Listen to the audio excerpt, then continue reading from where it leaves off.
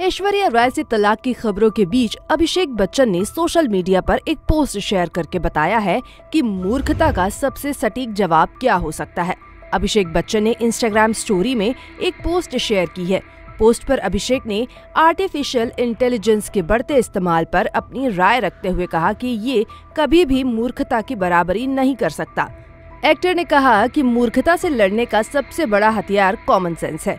इस वीडियो में अभिषेक कह रहे हैं एआई ट्रेंड में है। याद रखें कि कॉमन सेंस हमेशा से ही मूर्खता का सबसे अच्छा जवाब रहा है और रहेगा। कॉमन सेंस डिओड्रेंट की तरह है। जिन लोगों को सबसे ज़्यादा इसकी ज़रूरत होती है, वो इसका कभी इस्तेमाल नहीं करते।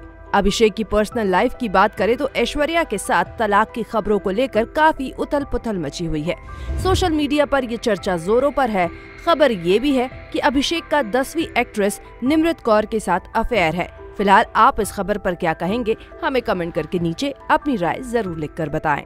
ऐसी ही और खबरों से हमेशा अपडेट रहने के लिए चैनल को सब्सक्राइब कर लीजिए और वीडियो पसंद आया हो तो लाइक और शेयर करना ना भूलें।